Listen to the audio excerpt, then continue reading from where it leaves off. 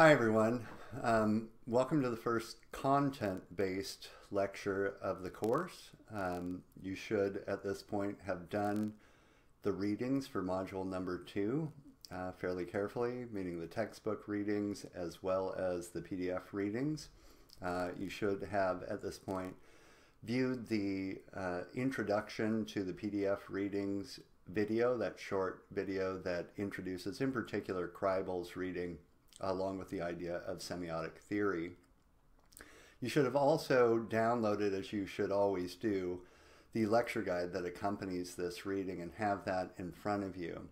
Um, as explained before, these lecture guides have the key names of the photographers or philosophers or thinkers that will be covered by the lecture.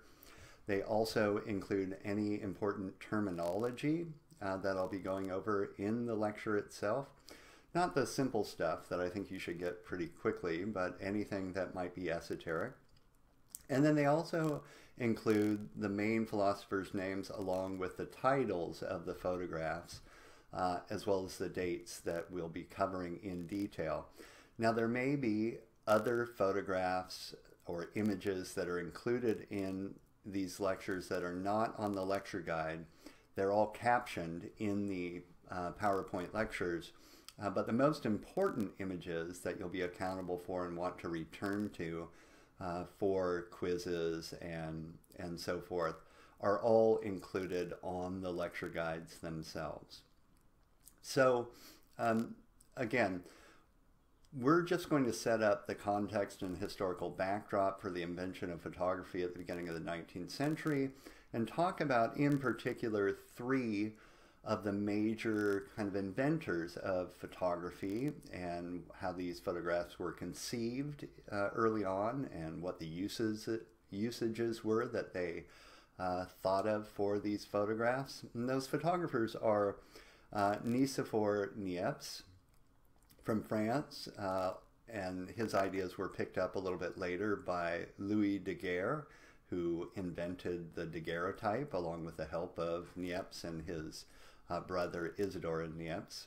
Uh, and then spend a little bit more time on Henry Fox Talbot, as well as Sir John Herschel, who is in the background of developing um, the idea of the photograph that was um, patented by Henry Fox Talbot, known as the calotype.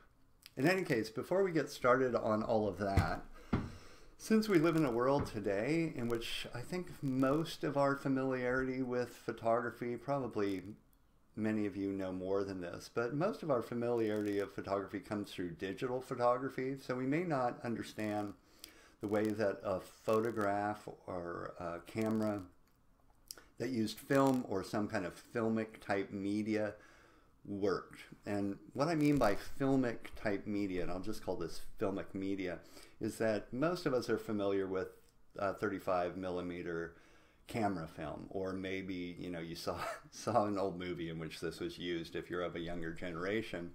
Um, before they developed film, there were various other photosensitive media uh, for instance, a daguerreotype uses a metal plate that is uh, highly polished silver surface um, or you know various forms of paper that is photosensitized. Almost all of these, by the way, use various types of silver amalgams to make a filmic media sensitive to light um, that are based upon the same principle when it comes to a camera.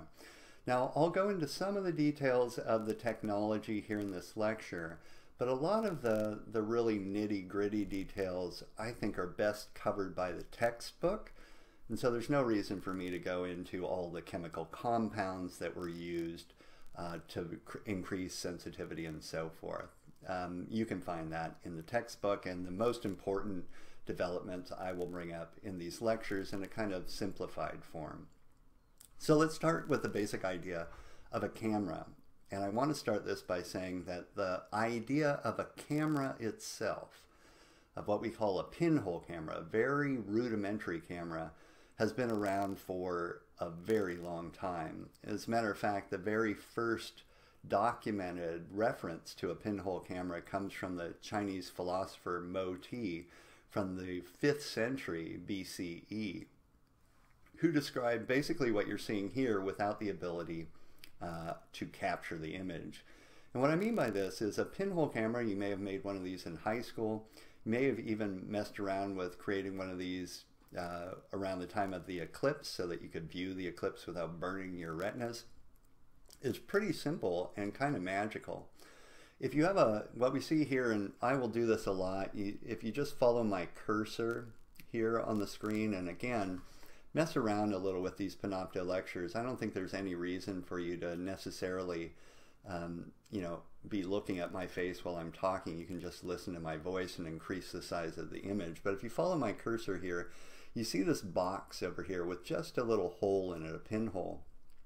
And, um, you know, this is your basic camera. The way that this works is that a darkened box, um, again, with no other way for light to enter it other than this pinhole, when pointed at an object that is illuminated by light, will actually create an image in that darkened interior of the object that it's pointed at, although that image will be upside down, inverted in that darkened interior. Now, um, again, this has been around for a very, very long time, um, but the ability, what actually happens when we get to photography, uh, the ability to actually fix that image, to capture that image, so to speak, to uh, have it imprint either on film or some kind of photosensitive paper that is a negative or a positive, and I'll get to this later on, was the big development of the 19th century. Now, people had known for quite a long time, frankly, as well, that silver was particularly sensitive to to light. Although you know it's not till the 17th century or so that they really totally figure this out. And what I mean by that is that most filmic media, whether it be a photosensitive piece of paper, a piece of metal that has been silvered, or later on film, use various forms of not on film so much, but various forms of silver amalgams, um, which were sensitive to light, to fix that image. In other words, the basic idea of the pinhole camera then was developed so as to include some kind of photosensitive medium. Again, later on this is film, early on it's photosensitive paper covered with silver amalgams or a, uh, uh, a, a metal plate that would um, capture that image. Think of it this way. If you have silver jewelry or silverware, you know that if you leave it out in the light, especially sunlight for any period of time, it will tarnish, it will get darkened. That's the basic idea of a photographic media, except that uh, you want, of course, in this photographic media, really, really sensitive uh, you know, forms of silver, silver nitrate, silver amalgams. So if we're keeping our eye on the development of photography over the 19th century, just to kind of put the cart before the horse a little bit here, there are a number of technical issues that need to be solved.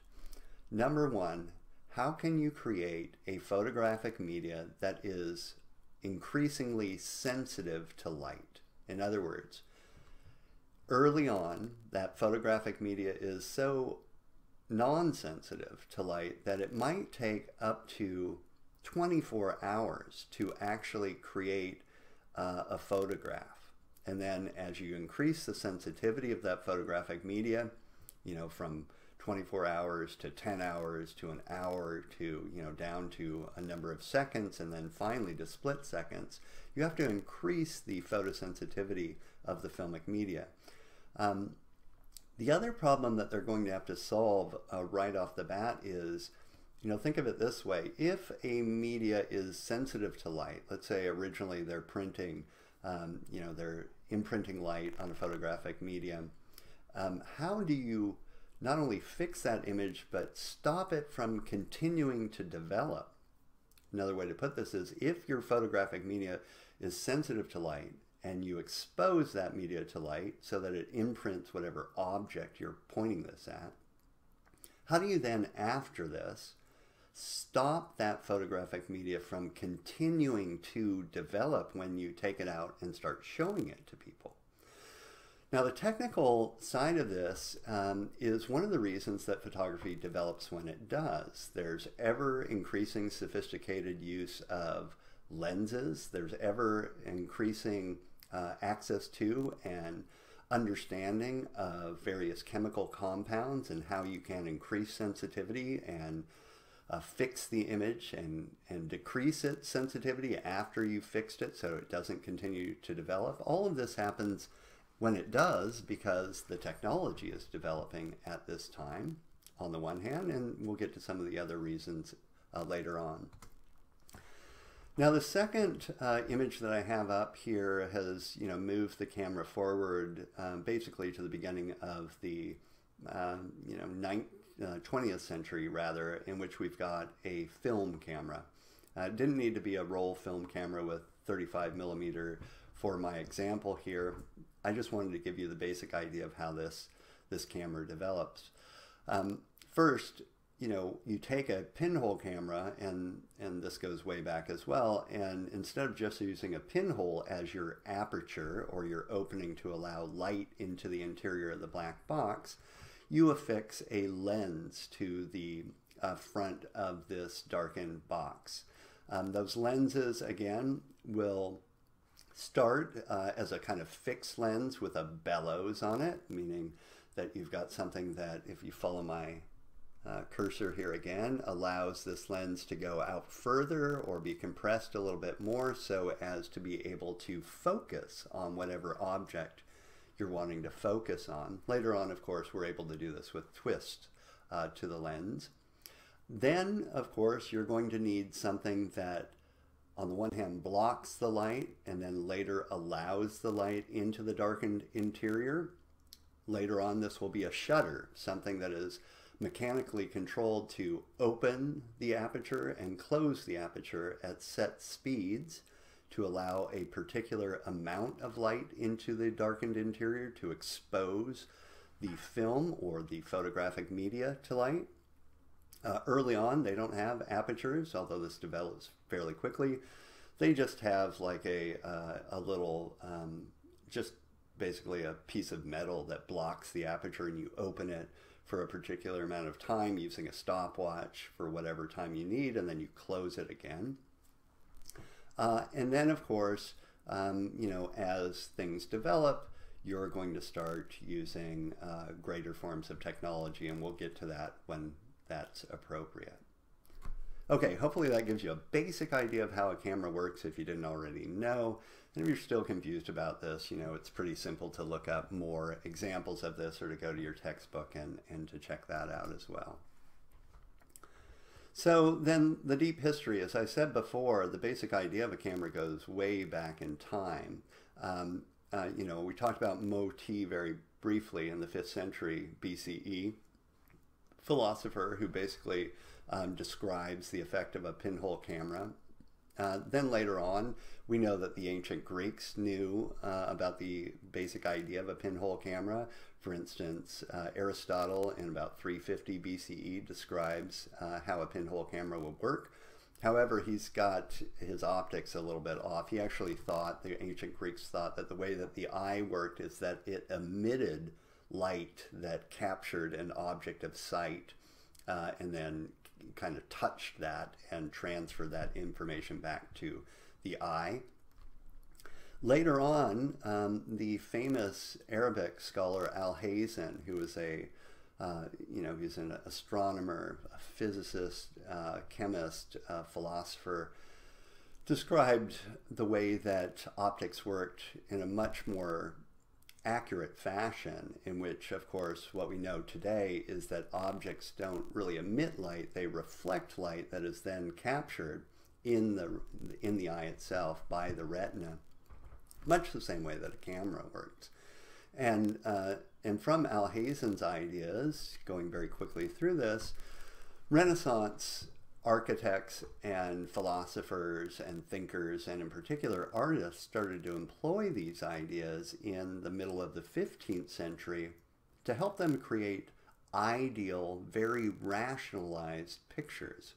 As a matter of fact, some of the implements that were developed to capture the way that the eye supposedly saw in a very perfect way, uh, not in the way that we actually see, but in that perfect idealized way that the Renaissance classical artists wanted to capture, are things like this that you see on the screen. This is a uh, a print of Leon Battista Alberti's Velo, as he called it, which is an implement that allowed a artist or frankly anyone to help capture the way something looked in a rationalized way. And the way that this worked, and I'll show you another example of this in a moment, um, again, follow my cursor, is that the artist or whoever is doing the drawing looks through an aperture here. And that aperture, you're looking through this, then you look through a gridded, translucent in this case, a piece of paper onto the image that you're trying to look at. And sometimes this, by the way, piece of paper was gridded off so that you can basically copy exactly what you're seeing through this kind of rudimentary camera. A camera in the sense that it rationalizes sight. It makes it something that can very carefully be um, documented supposedly accurate, accurately, although we're really talking about idealistically but doesn't have the ability to directly imprint um, light on that, uh, that medium. Another example of this that may help you to kind of conceive of this is a famous uh, woodblock print by Albrecht Dürer showing you how linear perspective works employing a velo. And in this case, again, you see the person who's doing the drawing on the right hand side looking over the top of a stylus that helps him to focus his vision from one point through a gridded translucent plane onto the object that he's trying to draw and then transfer that image onto the gridded piece of paper down below him. It's like a camera that doesn't have the ability again to fix the image, but the idea is the same. Now here's what I mean by linear perspective. If you've never taken an art history course before, you may not know this, but linear perspective, which may have been around as early as the ancient Romans, but was kind of re, um, uh, you know, re-explored uh, during the Renaissance, starting with people like Leon Battista Alberti in the middle of the 15th century, follows this basic idea that um, that on any image that you're looking at, for instance, here there is a horizon line. That horizon line is basically coextensive with the height at which you're seeing um, some kind of scene. And on that horizon line, there is this vanishing point right here where the train tracks come together. Now, think of, if I go uh, back here, think of that vanishing point as being the opposite of what this little stylus is. It exists over here basically symmetrically opposite of the stylus. And what it allows you to do is create in perspective, kind of a, an illusion of three-dimensionality, um, the scene that you see in front of you so that everything that is perpendicular um, to a ground plane and um, that is uh, receding into depth will all recede to this one central vanishing point. Now the whole reason I'm telling you about this is to get to a kind of larger point, which is this way of seeing isn't the way that we actually see the world.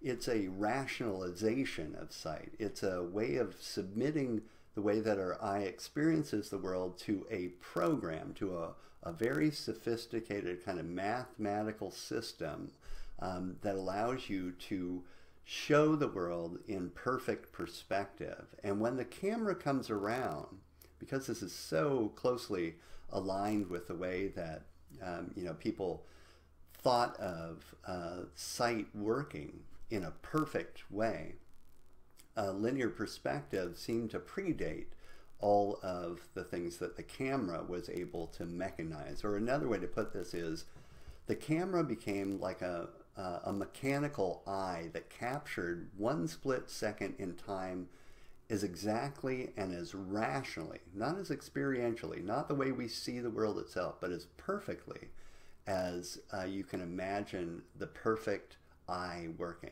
Or another way to put this is when you look at an object, you will also you'll always uh, observe this object in time, right?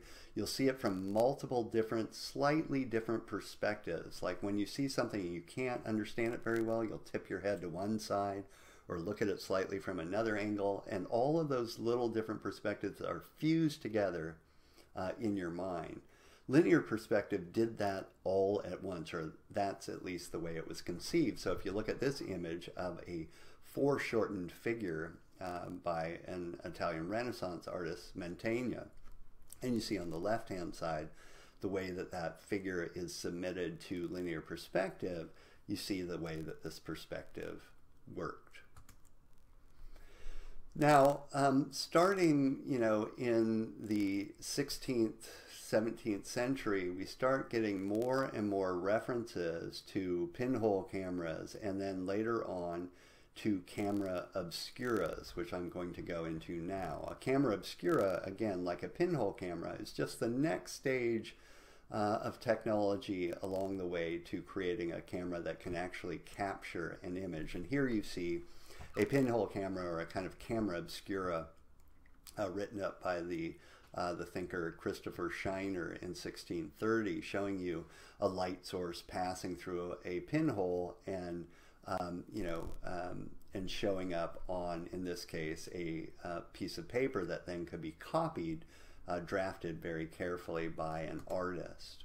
Or another example of this by Johann Zahn from 1685 showing you the way that that pinhole camera works. And now we've got pinhole cameras that are so big that you could actually be in the interior with the image that is passing through the pinhole into that darkened interior and see that image and copy it. Now it's um, not doesn't take very long until people start developing what's known as the camera obscura. The first example of this goes all the way back to Leonardo da Vinci, who talked about this. And um, there's a little bit of contention around how often artists actually used a camera obscura. But the basic idea is to take that pinhole camera, to affix a lens to it. So if you follow my cursor again, to affix a lens to it, to point it at objects who then are captured in this interior but in the interior now, you've got a mirror.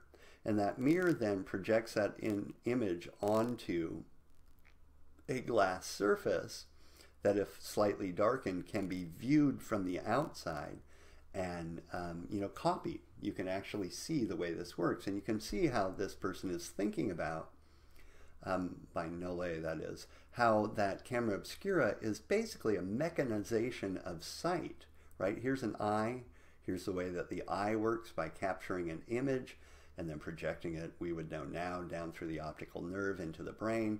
And here is the camera, like a mechanized eye. Here's a, a you know, bigger example of a camera obscura. So, you know, think of this existing uh, at the time that the first major inventors start to figure out how you could fix this transitive image that is a part of a camera obscura, how you can put a photographic media in the interior of this camera obscura and actually capture that image. In addition to the camera obscura, of course, people have been trying to uh, perfect the way that images could be captured or to rationalize these to actually create them as accurately as possible. But by accurate, again, I don't mean accurate to the way our eye sees, but accurate to perfection. We are in the age of positivism, by the way. And another mechanism that was used is this Physionotrace silhouette device that basically what you see here is that someone's sitting in front of a translucent, in this case, glass plane with a light source on one side of them that creates a silhouette on the glass plane. And the operator would actually move a instrument along the contours of this silhouette.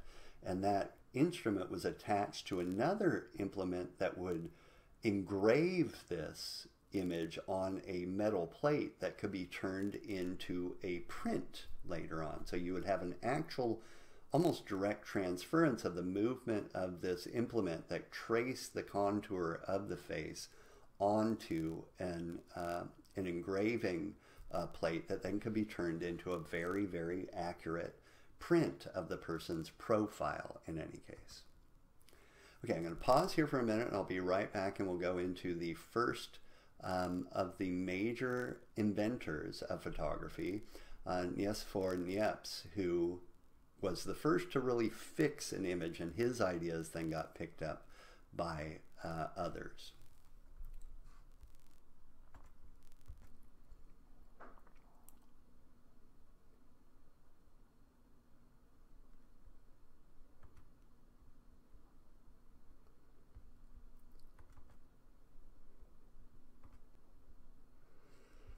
So, before we get into Niepce, just a few more words about the context here. There are some um, precursors to, uh, to the development of photography that you'll read about in your textbook. For instance, in 1725, on the, the chemical side of things, so the, the camera obscura has been around for a while now, but on the chemical side of how do you fix that image, um, Johann Heinrich Schulze uh, in 1725 was able to demonstrate that silver nitrate, which is an amalgam of sil uh, silver, actually darkens in response to sunlight instead of heat. That is something that's in the background of a lot of this thinking. By 1802, Thomas, Wed uh, Thomas Wedgwood um, describes his work in the Journal of Royal um, uh, of the Royal Institution as an account of the method of copying paintings on glass uh, as using, again, silver nitrate. So he's got the theory down there, but it really doesn't get developed until the beginning of the 19th century by the characters that I'm going to go into now. Also, in terms of the wider context, scholars have debated quite a bit about where, you know, the interest in developing photography came from. As your text points out, there's a in the 19th century a profound kind of cultural transformation um, you know with the development of the middle class and so forth and with the development of uh, scientific inquiry uh, chemistry optics and so forth. Um, second of course um, a lot of people think of photography as a, a originating from a desire to extend uh, traditions of painting and drawing and while later on in the century, I think that's absolutely true, early on, keep your eye on this. Uh, most of these earlier uh, inventors of photography aren't really thinking about photography as an art form. They're thinking of photography as something that's able to capture an image and reproduce an object in a reproducible medium that can be used for many different reasons, uh, you know, from creating likenesses of human beings to uh, documenting uh, other uh, paintings, for instance, to uh, creating a document of various fossil forms or whatever. They're not really thinking of it as artistic. Um, uh, another um, reason or rationale for the popularization and rapid development of photography is that with the increase of uh, the middle class um, and access to photography, people, of course, want, and you'll see this next week, images of themselves. It's one of the things that we do with photography quite a bit today, right? To create a portrait of ourselves or to document our family or a loved one. Uh, and then, of course, um, people, one of the other reasons for the development of photography is tied to the others, which is you've got a whole bunch of basically scientists and chemists and um, you know whether they're they're actual professionals or amateurs uh, who are just playing around with these these technical developments and seeing where they go. So um, the increasing demand by the middle class for images, uh, whether they be images themselves or images for popular entertainment or images uh, from across the world of scenes that they couldn't otherwise see is the big one that I want you to be thinking about as we go forward here. So, Nicephore Niepce uh, is a French man, and he's often been described as a kind of country uh, gentleman slash scientist. He's um, he's a you know he's working outside of the city center of Paris, kind of on his own, fairly isolated. He was born in 1765, as you see here. He's a French landowner with some scientific interests and did a lot of experiments with a printing form known as lithography. Um, and he wanted a, a form and he knew about these earlier developments uh, when it came to the camera obscura and ideas about silver nitrates and fixing images and so forth. He wanted a, a quicker way to basically copy um, various lithographs so that he could reproduce them. And he began experimenting uh, with the camera obscura and fixing images. Um, but the way that he went about this is, is kind of interesting. It's not really quite photography yet. One of the first supposed photographic images you see here on the screen in front of you, uh, known as the uh, a view from the window at Gras from 1826. What um, what Nies, uh, Nicephore Niepce did is he used a camera obscura and he created a photographic medium, uh, not from silver nitrates, which he had started playing around with, but he, he, the first photographic image, such as this one, came from a different photographic type of media. What he did was he basically covered a plate, in this case, a piece of metal, um, with a particular kind of medium known as bitumen of Judea. And bitumen of Judea is a kind of naturally occurring tar, been used in a lot of things before, which he figured out that when you expose bitumen to light, the areas that are exposed to light um, become fixed to the photographic substrate, in this case, a plate. And then if you take this uh, exposed image and you um, uh, put a bath of a lavender oil over the top of it, all of the parts of the bitumen that had not been exposed to light actually wash away, and the areas that have been exposed to light uh, are fixed.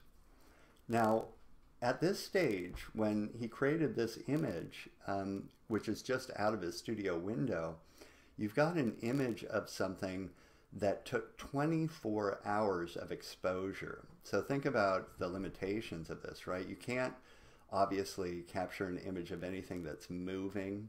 Um, you can't, you know, anything that's uh, transient at all isn't going to be captured. And basically what you're creating is what's known as a positive image. As photography develops, except for the daguerreotype, which is also a positive image, most photography created a photographic negative image that then could be resubmitted to light onto another medium to create a positive image, but we'll get to that in a minute. So he, he starts playing around with this form and he, you know, he has some kind of limited success here. Um, he uh, is writing to his brother, who Isidore Niepce, who will take on the mantle of the first photographer from him uh, later on in time when he dies fairly young, um, and uh, begins to again figure out ways to to create these images using bitumen. He called these, by the way, not photographs. Photograph will come much later on. He called them heliographs or sun pictures. In this case, you see a picture that is created through the same process where he uh, fixes the, he basically takes his uh, camera and points it at a photograph, or not a photograph, a painting, or in, uh, in this case, a, a uh, print of Cardinal Ambrose, Ambrose um, again in 1826, and, and you know leaves that shutter open or leaves the aperture open for a great amount of time until he creates this rough image of the scene that he was pointing it at.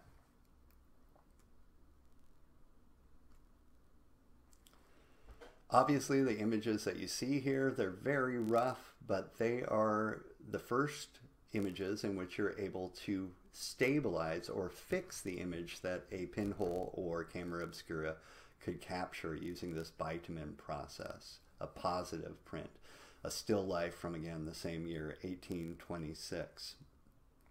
Now, when he dies, his brother Isidore Niepce um, hooks up, begins corresponding with the major French uh, developer of photographic technology, Louis Daguerre, who created what is known as the daguerreotype.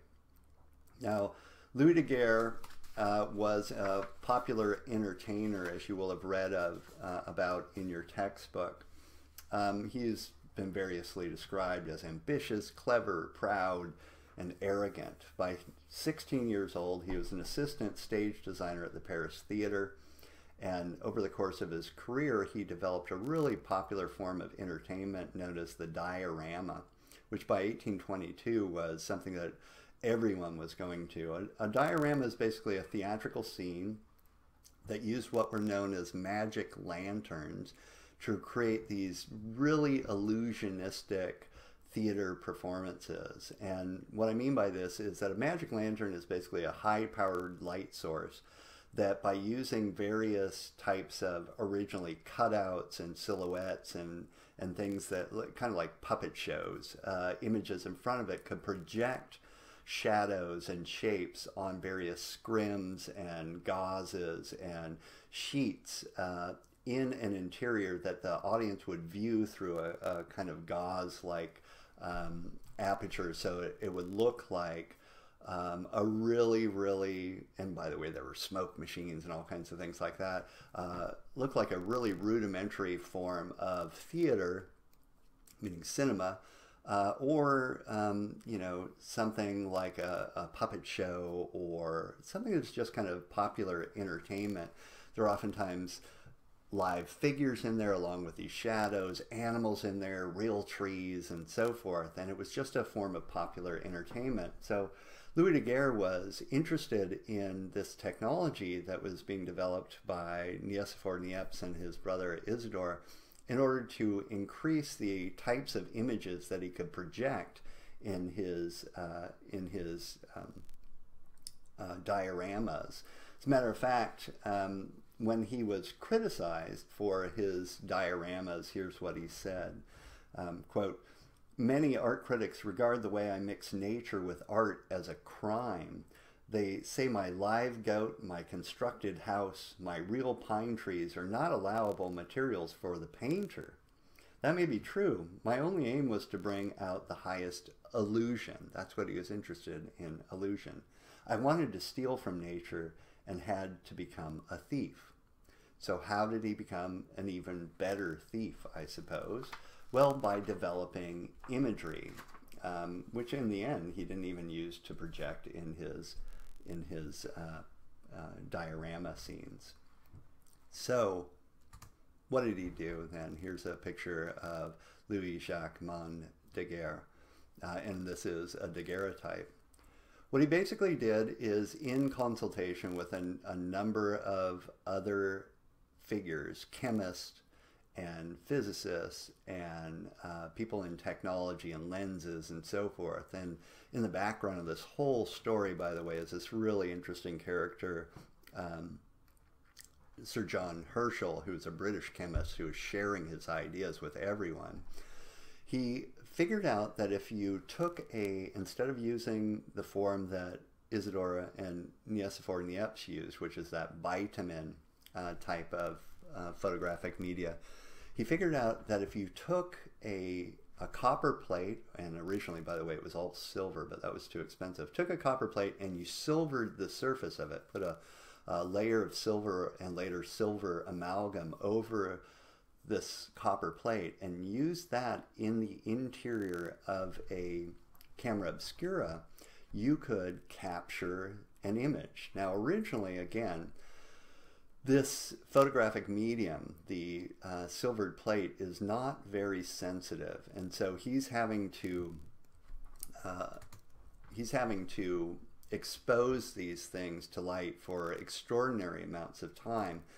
But then over the course of a number of years, and we're talking about, you know, 14 years or so of messing around with this process, he supposedly by accident figures out that if you partially expose this copper plate that's been silvered to light, let's say for a limited amount of time, let's say 10 minutes or so, and it's usually more than that, um, and then you submit this image to um, to basically vapors of uh, mercury, um, it will develop in relation to that um, to that uh, exposure to vaporized mercury. Now, the way he said this happened is that he partially exposed a plate, he stuck it in a cupboard, just happened to have mercury in there in the cupboard, and the vapors attached to the silver and basically allowed this image to develop further. Then, of course, you have to fix this image because if you expose that image again to light, it's just going to all go black. And the way that he did this is by uh, submitting that silvered surface to originally basically just table salts which desensitize the silver surface and stop it from continuing to develop. Now, Sir John Herschel, this British chemist, eventually tells him uh, how to create a bath, uh, what becomes known as a hypobath, uh, which is hyposulfate uh, um, uh, mixed with water that you submit this plate to to stop it from continuing to develop. In any case, you keep kind of getting better and better at the sensitized surface, exposure times start going down a little bit, and you can create now really photographic images. This is what's known as a daguerreotype. And one of the most famous early daguerreotypes is this, the Paris Boulevard from 1839, where out of the window of supposedly his studio, he, uh, you know, shot uh, with a camera this scene of Paris Boulevard with a little man getting his shoe shined, which you see down here below. Now, the thing is that, you know, probably when he uh, did this, there's no way the exposure time could have caught this figure. I'll give you a close up of this guy having his shoe shine, uh, unless that guy was down there, you know, having one shoe shined and not moving it for 15 minutes or so. Uh, and so it's probably a staged photograph, but nonetheless, it's an incredibly good photographic image, isn't it? Now, here's the thing a daguerreotype is what we call a positive image. Think of film photography, where in film photography you expose the film to light. The areas that are lightest in the original scene actually show up as the darkest parts on the film. And then you develop that film and then you print that film. In other words you reverse it on a printing process by exposing it to light onto another photographically sensitive media a, uh, a you know print paper. And it inverts the image from dark to light daguerreotypes are not that daguerreotypes the film so to speak is the plate itself there is no negative to this however if you've ever seen a daguerreotype, which are incredibly precious, high fidelity images, they get so accurate so quickly. Um, you'll know that if you tip them a little bit one way or another, they go from positive to negative right in front of your eyes. But you can't reprint them. They're just one image. You can't then go reprint this as multiple different pictures. A daguerreotype is a singular image of a plate that has been exposed to light. Now again, what is the process of this? First, you take a polished silver surface, usually a copper plate, and later on they'll use other forms of metal plates to cheapen the process.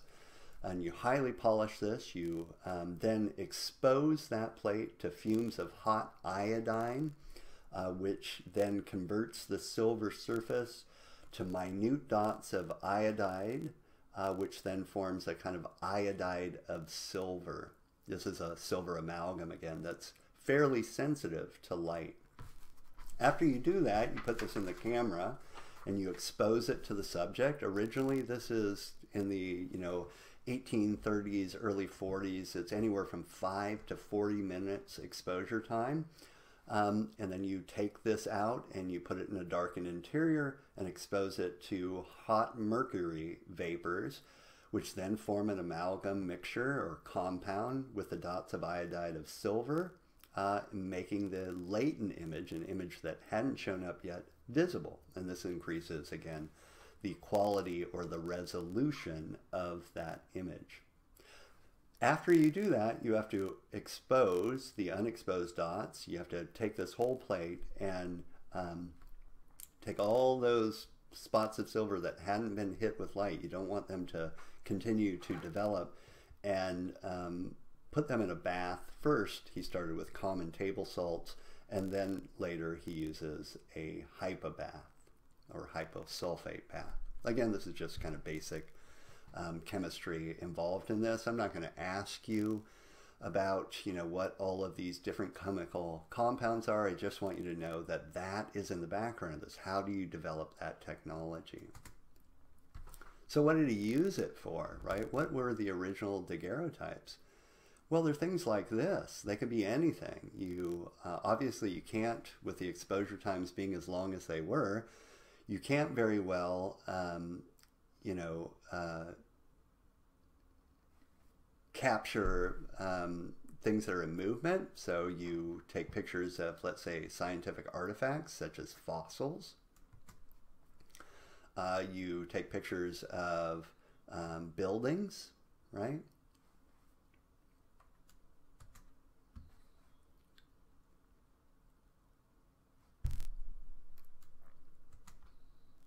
Here's his uh, model of the daguerreotype camera. Again, very, very simple and just kind of follow along with me. You have a lens and a lens cap that allows light when you take it off to be exposed to, here's the little piece that um, uh, has the photographic media on it, that metal plate, which you see over here. Very, very simple kind of mechanism for the fixing of light. And here is the daguerreotype process again. So again, a little bit more, uh, we're going forward in time here to the 1850s or so.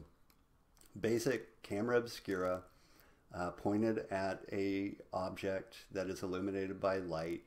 You expose that uh, sensitized plate to light and then you uh, fix it by um, uh, you know, um, submitting it to hypobath and mercuries of va vapor, and then you've got your photographic image. Here's what it looks like if you magnetize the surface of a daguerreotype 13,000 times or so. These little particles of mercury silver amalgam are the things that are sensitive to light. Those that are exposed to light, of course, darken and um, uh, you know accept the image, and those that aren't exposed don't get exposed. They get washed away in the hypobath, thus creating the the very accurate image. This is supposedly the first portrait of a man, and this is where things get really interesting, but we'll talk about this in a little bit more detail next week. It's Monsieur Huet in 1837, uh, captured by Daguerre, and frankly, this is the direction that the, the daguerreotype went. It's an incredibly accurate, quite sensitive photographic media. It creates really, really sharp images um, now they have fairly long exposure times at first, but the portrait became the favorite usage or genre of the daguerreotype. And here you see a photographer at work, 1843, taking a photograph of someone who's seated for this. Now, I want to point out a couple of things about this. Um, number one, um, these photographers, by the way, were originally called operators. They're not called called photographers at all. And what he's doing is he's opened the uh, the lens or the aperture to point at this figure. This figure has to sit incredibly still. You'll see a couple of implements that were used to hold people's faces still as they sat originally for up to five minutes, ten minutes at a time in front of this this camera in order to get their portrait taken. here's one of those implements. so people would go sit down for these, and if you've ever wondered why those old, old photographs always have people looking um, no smiles, right? No facial expressions, they look really stiff. It's because they couldn't hold a smile and it would get all blurry, so they just kept a very stiff face. They also had these implements that would hold their head from moving at all behind them, carefully hidden from uh, exposure, of course, but to keep their heads still. Uh, they also powdered their faces to make them very white so as to increase the exposure. Sometimes people were given uh, in the later 19th century drugs, uh, laudanum in particular, so that they would hold still for these photographs.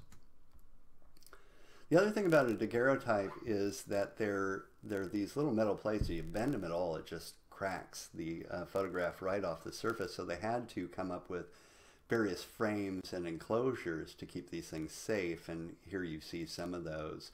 You see on the very upper left-hand side the silvered copper plate, which is the photograph itself. Uh, and then you see a piece of sheet brass mat that, that goes over this to frame it.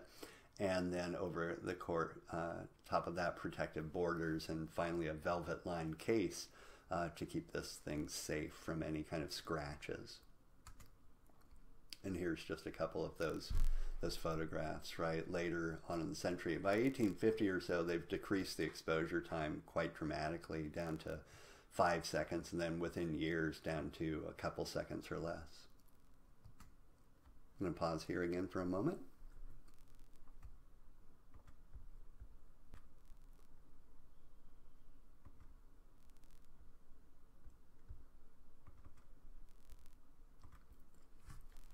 Now, a couple other things to say about um, Louis Daguerre.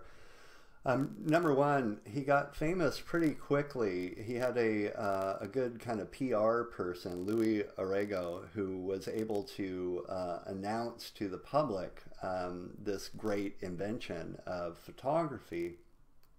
Um, and, uh, you know, you can read about this in your textbook, but Francis Arago basically published a paper uh, called The First Practical and Successful Photographic Process in 1839 that announced to the public, um, you know, what was going on in photography and put Louis Daguerre kind of on the map. He was the first one to kind of make this stuff public.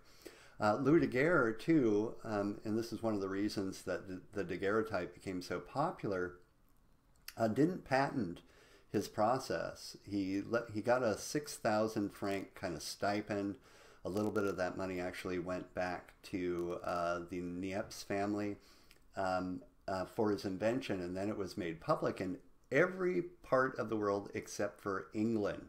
Uh, Great Britain didn't, uh, he patented it there. The French and the British were constant rivals at this point. Uh, and so, if you're working out of uh, England, you had to get rights to use the daguerreotype, but everywhere else in the world it was open to the public, which increased its popularity.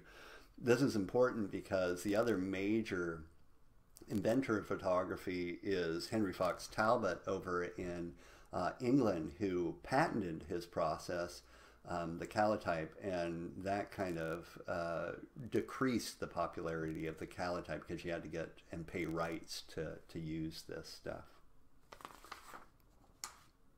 So then just very briefly, there's another figure in France around the same type uh, time, Hippolyte Bayard, who also was developing his own form of photography itself uh, in which you know he I just wanted to kind of mention this figure because uh, he had a very viable process. It was uh, very similar to uh, to what the daguerreotype was doing as well, um, and he had you know success right around the same time as. Uh, Louis Daguerre did, but uh, probably through a little bit of um, insider trading, so to speak, they put the kibosh on him really getting uh, the notoriety that he should have had. So here is a photograph of him. He basically, it's a positive print. He submitted a lace glove on top of a photographically sensitized plate and then exposed it to light, creating this likeness of that lace glove. Uh, he also, of course, put flowers and leaves on photographic paper and exposed them uh, to light. He called these nature paintings, by the way. Uh, he tried to get people to pay attention and to pay him for the type of work that he was doing. Here he is uh, creating a composition with various sculptures in the same type of process. His garden, again, using basically things very similar to the daguerreotype. Um, but he felt that, uh, in particular, um, uh, uh, Francois Arago didn't help him out with the French ministry and actually kind of told the French ministry not to pay him to develop his art, which, you know, he didn't have enough money to develop it on his own. And so, kind of in his own way, he makes reference to the way that the, the public didn't support him or the French ministry didn't support him in this self portrait as a drowned man, right? Very melancholic. The world's not treating me fairly type of portrait. Now, of course, he didn't die. Here he is in 1847 in his self portrait. And anyway, I just wanted you to know that guy is out there. And now uh, we're going to go on to the the other major character at this moment in time over in England, Win, uh, William Henry Fox Talbot.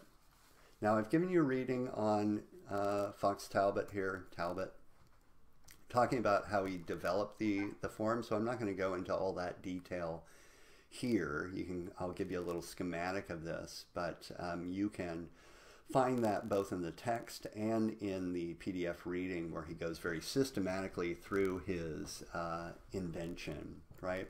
So Henry Fox Talbot is kind of like the opposite of uh, someone like Niepce. He was a total Renaissance uh, figure. He he was someone who was a scientist. He was uh, a man of letters. He was uh, you know someone who was interested in chemistry, uh, uh, physics, and so forth.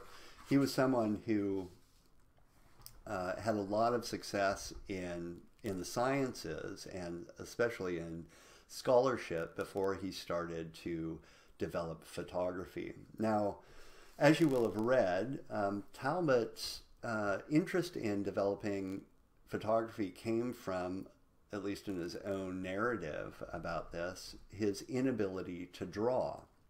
Um, as he said, when he was off uh, on on the Grand Tour, which was a, a, trip through all the major classical centers of Europe, and he was hanging out in Lake Como in Italy in 1833, um, he was using uh, something called a camera lucida, which you see here, which is a an instrument that's basically you look through a prism and it allows you to see on the one hand something that the prism is pointed at, let's say a building or landscape, but it also allows you to see the drawing surface that you're drawing on simultaneously. So you can in theory anyway, kind of copy what your eye is seeing out here directly on uh, the the paper down below you where it projects an image of this. Now I've I've tried to mess around with these before and it kind of gives you double vision, so it's no no surprise that it didn't work very well for him. But he couldn't draw worth a darn, and this instrument wasn't helping him very well either.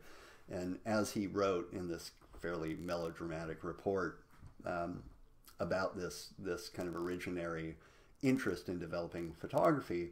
He said, when the eye was removed from the prism, meaning the camera lucida, in which all looked beautiful, I found that the faithless pencil had left only traces on the paper, melancholy to to uh, behold. Here's his pencil drawing, by the way. I then thought of trying again a method which I had tried many years before. This method was to take a camera obscura and to throw the image of the objects on a piece of transparent tracing paper laid on a pane of glass in the focus of the instrument. This led me to reflect on the in, uh, in, uh, inimitable beauty of the pictures of nature's painting, which the glass lens of the camera throws upon the paper in its focus fairy pictures creations of a moment, and destined as rapidly to fade away. It was during these thoughts that the idea occurred to me. How charming it would be if it were possible to cause these natural images to imprint themselves durably and to remain fixed upon the paper. And why should this not be possible? Indeed.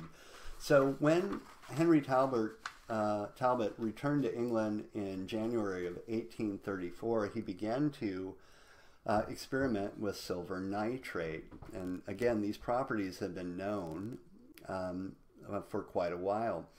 What he did was he basically painted uh, this white substance of silver nitrate on paper, and then in a camera obscura, he submitted this to light, uh, and it developed very slowly. Um, then he messed around with what is known as silver chloride solution and did the same thing. Now, what happens when you do this, unlike the daguerreotype, is that what you create is a negative image of what you're looking at. So, uh, you know, originally, I'm going to get to this in a minute. Originally, before he even created this kind of photographic negative positive print, he was doing basically um, contact prints. He was exposing various objects to photographically sensitized paper without a camera obscura, like you see here of leaves. And then he starts to mess around with the camera obscura and these pieces of paper that had been photosensitized, thus creating the first truly positive negative photograph here, a window at Lacock Abbey, this latticed window. Um, in 1835. Now, a positive negative print, before I get to that, I'm sorry, before I get to that, I should say that what he was so amazed with at these images, how accurate they were. And I'm thinking, compared to the daguerreotype, when I look at this, not very accurate at all, frankly. Um, but he went on to say, you know, when you looked at this image of the window at Lacock Abbey, when first made, as he said, quote, the squares of glass, about 200 in number, could be counted with the help of a, a magnifying glass and got very accurate. And that's what he really liked about this. Now, this is, again, where this goes. Uh, eventually, what he does is that he sensitizes basically waxed paper, a paper with wax on it to make it semi translucent, and creates these photographic negatives. You see the negative over there on the right hand side. It's uh, obviously inverted everything that is going to be positively printed in black is very white. Everything that is going to end up white is very black. And then you resubmit a photographically uh, sensitized piece of paper uh, and project light through the negative onto this piece of paper. Originally, just by creating a sandwich, you just put it on top of each other and submit it to light, and you can create this uh, positive image from the negative. Now what this has going for it is that unlike the daguerreotype, you can create multiples from a photographic negative. The daguerreotype is a single. The positive negative process that he created here allows you to create multiple copies of something that you've created as a photographic negative. And later on, of course, you'll be able to, not, not now, but later on in the century, you'll be able to uh, increase and decrease the size of this by creating um, larger and smaller prints of the original neg negative process. Now again, here's how he went through it. Just various, this is just a short uh, schematic of his invention process. First, he starts by creating direct impressions. Um, then he decided, you know, here's another way to in increase the sensitivity of the paper. He dipped paper in a salt water solution, allowed it to dry, and then painted on the silver nitrate. The chemical reaction between the two substances resulted in a precipitation of silver chloride. And he found that if you created a weak solution of salt, in other words, less salt, you could create greater sensitivity. And then he uh, continued to develop this. His second breakthrough was the stabilization of the image itself. And this is, as he points out, once you've, of course, um, exposed a negative, in this case, uh, a sensitized piece of paper to light, you have to stabilize it. And um, the way that he did this originally was to basically put that negative in boiling water to take away any of the remaining silver salts that hadn't been um, exposed. And then later on, uh, Sir John Herschel, hearing of his development, sent him um, some information about how to create a hyposulfate bath to take away all of those instead of just desensitizing them, actually wash away all the unexposed silver nitrates uh, in order to create a stabilized image. Then, by the way, Sir John Herschel locks himself in a room and over the course of about three weeks basically discovers on his own everything and more than Fox Talbot had, sends him all of his information, never hears back from him, and doesn't bother, by the way, to get a patent. He was happy to share uh, his experiments with everyone in the world, unlike Talbot was. So he called these originally heliographs or sun pictures, and then later on he begins to call them calotypes. Calotypes meaning beautiful pictures of, you know, anything he pointed this at. And as you will have read, um, he's not really interested in this as an art. He's interested in this as something that, as yet, has multiple applications. You can use it just to capture images of the world around you and can be used for kind of uh, endless different purposes, but he's not really thinking of this as an art form itself. The other thing I want to reemphasize about this is that Talbot, of course, uh, you know, patented his process, and uh, this patent remains in place uh, up until about 1850 or so uh, when a new process, the collodion type that I'll talk about next week, was developed and makes the calotype kind of superfluous. You didn't need to use it anymore because there was a better process around. So this gives you an idea of how a, a, positive negative works. In 1841, Talbot switched to a process that produced a negative image on sensitized paper. He called it the calotype. It was a little bit less sharp and was considered inferior to the daguerreotype, uh, but the thing is, it allowed for you to make multiple copies from one negative, which in the end proves to be something that is quite, um, you know, interesting about photography and, and the main reason we think of, uh, you know, photography is so useful today. Its ability to reproduce and to be kind of infinitely reproducible and ability to disperse this all over the world is oak tree in winter is one of those uh, great examples of the early uh, calotype process going from a negative to a positive print. Then in 1844, um, he, in a series of installments, produces a photographic uh, book, in a way, uh, called The Pencil of Nature, in which he basically explains his development of photography and how it works and theorizes on its various usage. Now, at this stage, um, you know, the photographic prints all have to be done individually and put into these texts in what's called a tip-in process. Um, but it's it's the way that he got his ideas uh, out there. As he said, the plates in this present work are impressed by the agency of light alone, without any aid whatsoever from the artist's pencil.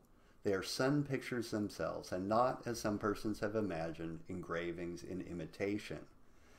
This is a really important idea, and it's one that we're going to come up against next week. What he's basically saying is that there is no real artist involved right? These are nature itself reproducing itself for us.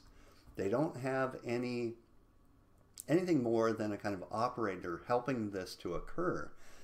And here's the thing, when artists or when photographers want photography to become an art, they have to fight against this idea that it's just a dumb mechanism that reproduces nature.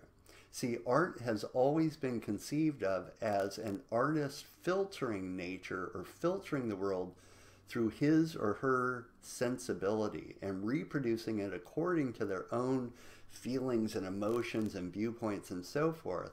And the camera, conceived in this way, as one of the originators of photography had it, as a mechanism that reproduces just the way that the eye works um, you know, was something they had to fight against. How do you reinsert the artist into the production of a photograph? Here are some of the pictures from the Pencil of Nature, and you just see, you know, it's just him showing how this works. A piece of lace, um, a very carefully composed, by the way, doorway. There are multiple different prints of this with that broom set this way and that. Um, photographs could be hand tinted, so you could create a photograph and then go back in with a little bit of color, either really uh, watered ink or gouache or some kind of watercolor and print color. Color won't really be viable until the 20th century. And even then, you know, if you ever worked in color photography, you know that the color photograph was never, it never had the same resolution as black and white photographs. You know, a cupboard, he's just kind of showing you what it can do. Nothing particularly artistic about this. A haystack. A boy with a hurdy-gurdy. And then this, and I really want you to kind of look at this for a minute. This is one of the iconic images. He created a, uh, a kind of photographic, both um, experimentation center, development center, as well as a place that you could go uh, have photographs made in uh, Reading, England. And what you're seeing here is a, a combination print um, of all the different usages that photography can be put to. So let's just take the left-hand side first here. Um, here what you see is off to the left, watch my cursor, a, again, an early form of camera being pointed at a picture. Uh, in this case, it looks like a print. And so if you wanted multiples or to preserve a print, or frankly, if you wanted to take a huge print and decrease its size so that it was more manageable, you could have a photograph made of it. You see this guy sitting there. He's taken the lens cap and flipped it up. There is no real diaphragm at this point. And he's got, you know, a, a clock here to make sure that he's getting the exposure time right. Over here, you see a man getting his portrait done. Now he's even blurred out a little bit here. And you can see that little thing holding his head in place as he strikes his pose. What else could you use it for? Well, you could use it for uh, taking pictures of nature, taking pictures of sculptures. You know, you can use it just to reproduce the world around you. It has multiple different reasons for being right now, none of which is extremely artistic in its own right. So again, just some other things. What could it be used for? You will read in your textbook, of course, it could be used to document things that um, document, and that's a term we'll get to later on and kind of talk about all the inflections of that term. Document something that is uh, subject to uh, deterioration, like butterfly wings or fossils or something you, let's say, instead of having to go to a cabinet and look at, you could just have all your photographs there in front of you to look at because it was such high fidelity. You could reproduce things like hieroglyphics. Again, this becomes a quick form of printing technology. You could take a giant Italian print, take a photograph of it so that it was much smaller in size. And of course, you can document yourself and your friends. Although at this point in the 1840s, the daguerreotypes resolution is so much better than the calotype. And the calotype is patented, um, and so you have to pay to be able to use that process. That when used for these types of purposes, more people would want a daguerreotype at this moment than they would want a calotype. And it only really took off in England, where the daguerreotype, ironically, was uh, patented, the only place it was patented.